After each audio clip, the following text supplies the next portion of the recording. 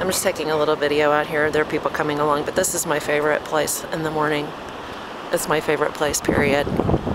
Um, this pier opens at 8 o'clock, and I've been here two mornings at 8 o'clock, and yesterday I came later. But, um, and there's like one surfer. I'll go show you the surfer.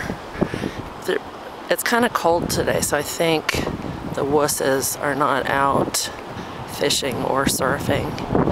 I'm to show you Surfer Boy over here. He's still working his way out. He just got in the water a little while ago. So apparently you wear like a, a hooded um, wetsuit when it's super cold like it is today, even though it's always like frigid in the water.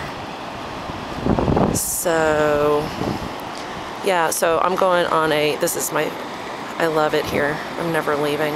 Oh my gosh, look at that break in the sky. That's pretty. Um, so I'm going on a um, whale watching expedition this afternoon. That should be fun. So yeah, it's heaven. It's heaven. It is surely heaven. Okay, I'm going to get something to eat. I'm going to get some breakfast. I hope Butch will be here when I get back. You're fishing, my fishing buddy. Okay.